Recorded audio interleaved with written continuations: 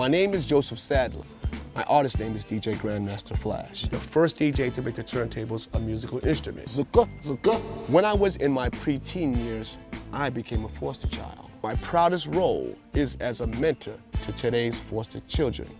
I see myself in them. If you can be a foster parent, please contact Little Flower Children and Family Services of New York. Turn the tables. Show some love.